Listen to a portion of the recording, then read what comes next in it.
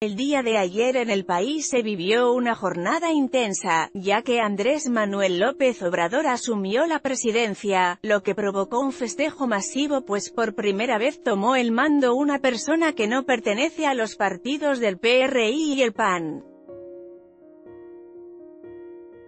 En el momento histórico hubo muchas personas y hasta famosos que hicieron acto de presencia en los eventos protocolarios, y una de las que más llamó la atención fue la presentadora del matutino de Televisa Hoy, Galilea Montijo. Como informamos recientemente, a través de las redes sociales Galilea presumió contenta su presencia en el Palacio Nacional, en donde el nuevo mandatario mexicano ofreció un banquete a los invitados especiales. Al lado de su esposo compartió imágenes de su encuentro con personalidades como el rey Felipe VI de España. La publicación fue acompañada por el siguiente mensaje, ¡Qué carisma el del rey! Más tarde en el Zócalo de la Ciudad de México se realizó el Festival Cultural AMLOFest, en el que también estuvieron Galilea con su esposo, Fernando Reina.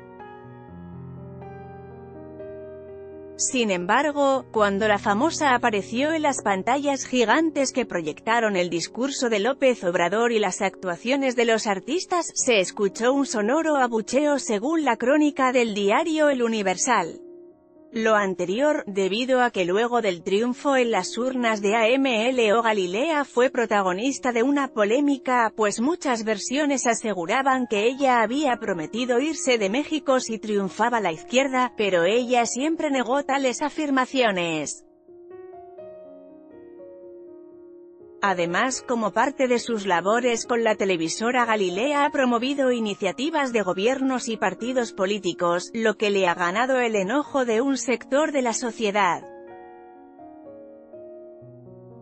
Con información de la opinión, YouTube y la neta noticias. Anímate a comentar. Queremos saber tu opinión. Comentarios Powered by Facebook Comments.